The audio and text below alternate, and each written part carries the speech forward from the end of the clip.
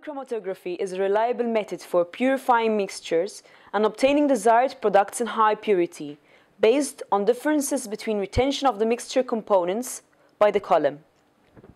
Generally, the stationary phase used to build up the column is silica, and the mobile phase is very often a mixture of relatively non-polar solvents such as hexane and ethyl acetate.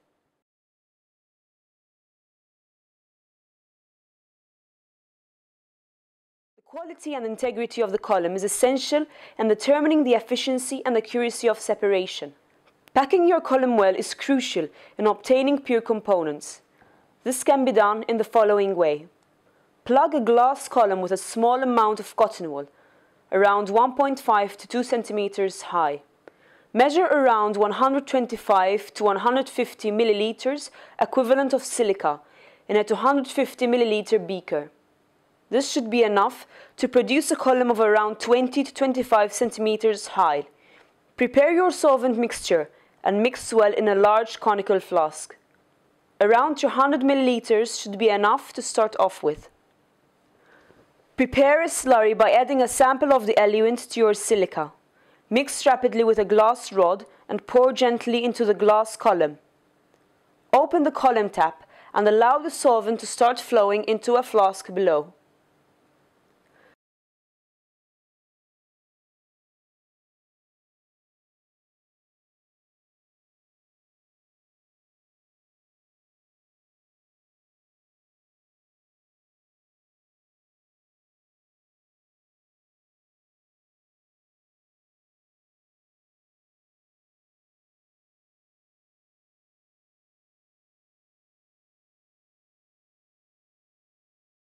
Start slapping the glass column firmly but carefully to help packing and to ensure absence of air bubbles. Keep on loading the silica slurry while you do this. You can prepare a column slapper by cutting a short piece of rubber tubing and tying the ends with a cable tie.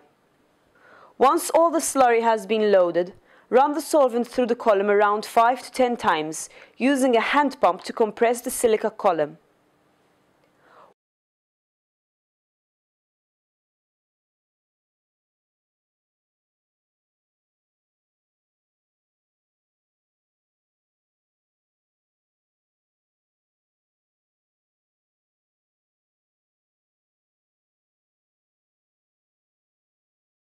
Once this is done, you can test the surface of the column to ensure good packing by gently lowering a flattened rod onto the top of the column, taking care not to disturb the surface.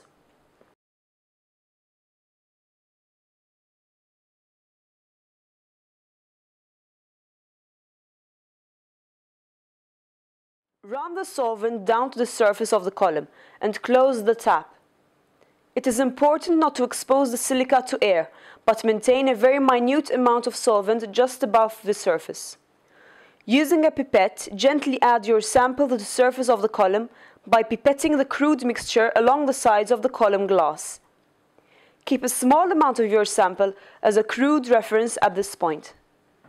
Once all your sample has been added, pipette a minute amount of eluent to ensure all your sample has reached the surface.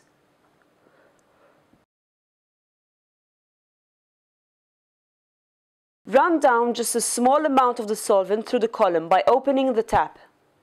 Once all your sample has entered the column's surface, but there is still a minute layer of solvent above, add another pipette of eluent. Run down the solvent slightly further to ensure all the sample has entered the column. Next, begin to pipette your eluent until a significant amount of solvent has been added. Fill the column with the rest of the eluent.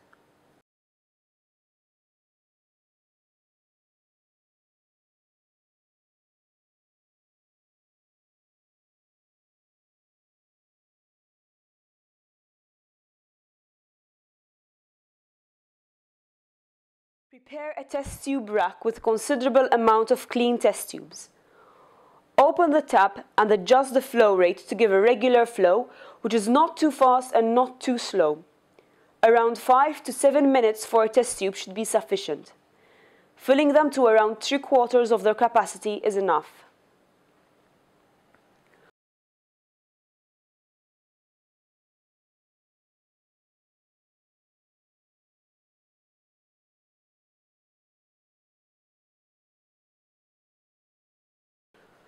Once around 10 to 12 test tubes are filled, prepare a wide TLC plate and mark starting points for each of the test tubes and another spot for your crude mixture. Spot samples from each test tube and run the TLC. Once you develop this, determine whether a fraction of your mixture is eluting out or not. You can also analyze samples through GC for more accurate determination of purity. The ends of each fraction should ideally be checked in this way.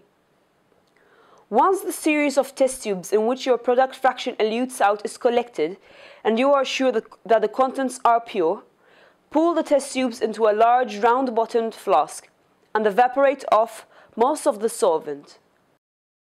You can then subsequently transfer to smaller flasks as necessary as you go along.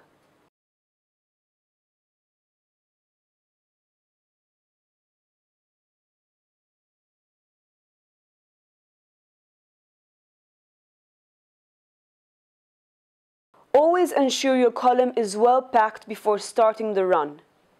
Do this by slapping the column well during preparation and testing the surface gently with a flattened rod. Be careful to remove any air bubbles from within the column before starting the run. Never let the column dry at any point, as this will lead to infiltration of air and rapid cracking of the column. Take care to maintain the integrity of the column surface. Be gentle when pouring solvents by pouring against a glass rod along the sides of the glass column.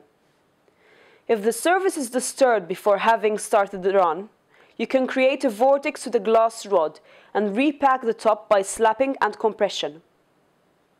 Alternatively, you can use some sand to cover the top and allow for better protection. Ensure that all your loaded sample enters the column before refilling the column with eluent.